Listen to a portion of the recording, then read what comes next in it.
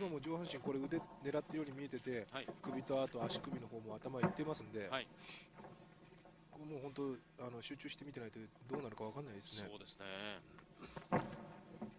ですから宍倉さん、はい。本当に無感ではあるああっと！危ない危ない勝者ジイソン・デルシア。嫌な予感が当たってましたね。